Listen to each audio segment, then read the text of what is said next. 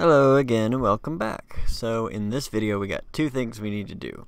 First, we need to fix our crafting screen one last time so that every time we craft an item, it updates our inventory so we can accurately see what we're doing. Second, we're going to make a fire pit so we can actually cook any cookables that we have.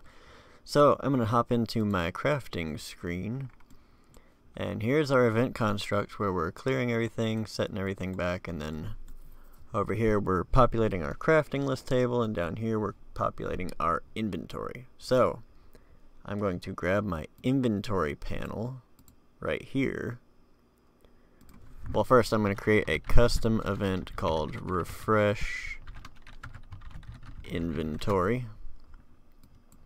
And with my inventory panel, I am going to clear the children of it. Then I'm going to find my player row and player column variables, set them both back to zero, and then we can feed this right back into that for loop where we're getting all our information and populating our data table. Or not data table, but you know what I'm saying, the inventory part of it. And let's take a little look-see real quick. So I got my recipes. Oh, well, it probably helps if we actually call that. So I'm going to go into the player blueprint and under the craft item. Let's see set animation current time. Alright so here at the very end after we're crafting the item then we need to call that HUD reference. I'm gonna drag this way up drag you up. And I'm gonna call that refresh. It's not in my HUD reference. That's in the crafting screen So we gotta find our handy dandy crafting screen. Reference. Crafting screen. We'll just grab it out. So at the very end after we play the animation on our screen we can call that refresh inventory. I'm going to plug both of these in just like that drag this in place just like that. And now when I hop in learn my recipes. Yeah now it's updating as we would want. That's not when we pick up items but that's okay. Because ideally they won't be picking up items with the crafting screen. But what we can do actually if if if and you want to we can go into that pickup item functionality and just do the same thing. So add set array element. So we'll just grab our crafting screen right here, crafting screen, and see if it is valid. I'm going to drag this way over here because it's going to need to be checked if this is not valid or this is valid. You know, probably won't be valid if this one's valid, but checks and balances are good to have. So if it is valid, then we want to do just like that and refresh that inventory. So if we pick something up while we're looking at our crafting menu, accurately updates. Just like that, that's looking great. Alright, so the second thing that we want to do is I want a cooking pit, something to roast, you know, meat over a fire like a caveman. Yeah. So I'm going to in my interaction system, I've created this folder called crafting system that I didn't use just yet, uh, but you can, if you don't have one, right click, create a new folder, or wherever you want to store interactables. So I am going to get a copy of my base interactable. I'm going to create a child blueprint of it. This is going to be called my fire pit blueprint. And I'm going to drop it right into there. So I'm going to double click and open it up, double click and open it up. And under the item inside the Infinity Blade assets is this fire altar. And it looks great. It works perfect for what I need. So that's what I'm going to use. Alright, so once that's done, I'm going to highlight the item and I want to add a particle system. Now the particle I'm going to use is part of the, the KY fire, it's the KY fireball, kind of like we used for the, uh, the actual fireball. But that's a bit big. Let's set it like 0.5, half that. Three quarters that. That'll be fine. 0.75 across the board, and it looks decent enough. Alright, so I am going to go to its fire pit thingy.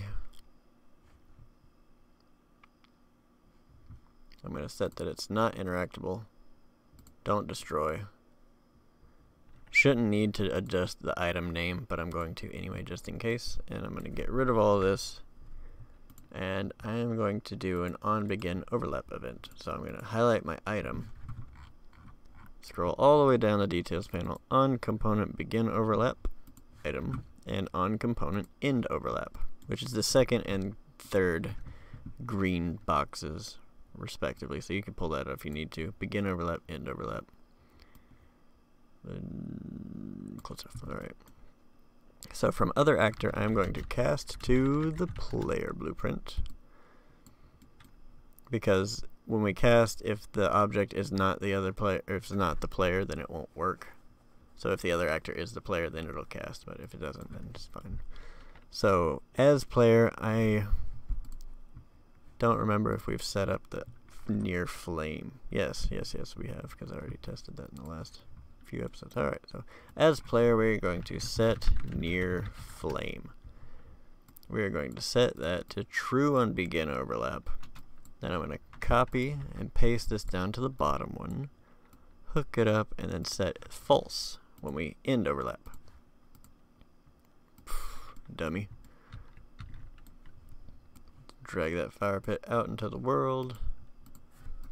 And let's take a look see Alright, oh. Alright, so it's it, the blue one, the mana potion, is invalid right now. But when I get close, now I can boil it or whatever would be, whatever the reason. That's a small little fire pit, but that'll be fine. You can make it whatever you like, make it as big as you like, and when I end overlap, it's gone. Yeah, alright, so it's coming together pretty nicely, I think. So we got our Crafting notify, the menu's updating. I'm going to change that real quick. I don't like that it says player inventory. I'll just make it say inventory. The player knows they're the player. We don't have to remind them. Okie doke.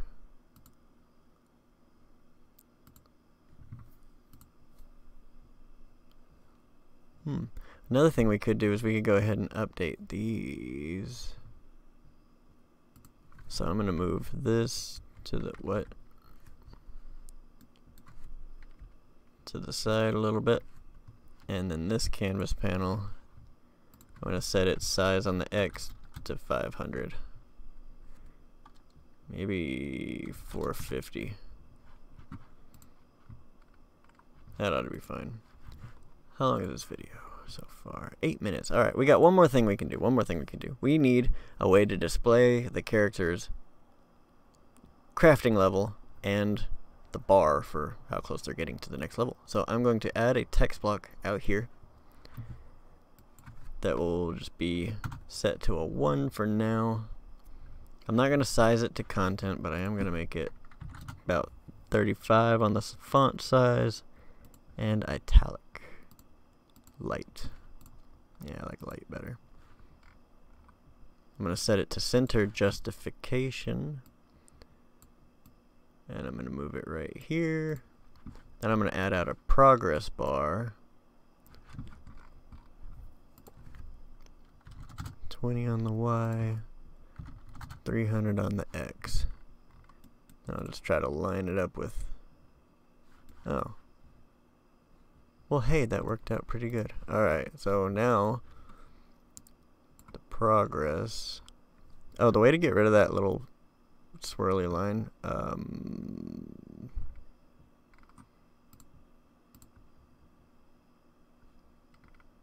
is somewhere. Something that says play animation or don't don't crash. Please don't crash. Oh, okay. Well, I'm not clicking that again. Alright, fill a little color. Ah, enable fill animation. And then it stops. I don't know how to get rid of the actual color difference, but there's that. So one thing I am going to do is I'm going to click the drop down because I don't want it to draw as an image. I like this rounded box. It looks really nice. So the fill image, I'm going to do the same. Draw as rounded box. It just has a nice little, I like it. It looks nice. So for the fill color, I'm thinking like a World of Warcraft purplish. That's not the right kind of purple. It was like a dark purple. You know what? I don't care. That's fine. The point is the functionality, not the way it looks, right? Yeah. Alright, so on the crafting thing, let us go into... Well, we need to set that, that text block. I'm going to call it crafting LVL, and it is a variable. Now the progress bar should already be, but we'll just call it crafting bar. Now, for this, we can go to the content, text, bind it, create binding. Let's go into the event graph. And right here, let's promote the player cast reference to a variable called playerref. Compile real quick, and then we can come in here and just drag that out and then we will get the crafting level and plug that in just like that. So back to the designer to click the progress bar to go to its percentage and we'll bind that to the player reference and we'll get crafting XP and craft level up. Now we're going to take the crafting XP and divide it by the level up. Because remember, the small amount gets divided by the big amount. So now when I come in here, I'm level 1 and I've crafted nothing. So, oh, well I meant to, okay, that works. That works too. So now you can see that happened, and then when I click something and craft it, I'm leveling up. Now I'm level 3. And if I over if I go over, then it sets it to the right amount and can carry on. So that's all well and good. You know, there, I keep saying there's one more thing, one more thing, one more thing, but there is one more thing we could. there is one more thing we can do. Alright, so here at the very end after we're crafting the recipe, we're learning the items and all that. Let's uh, let's get our crafting screen reference.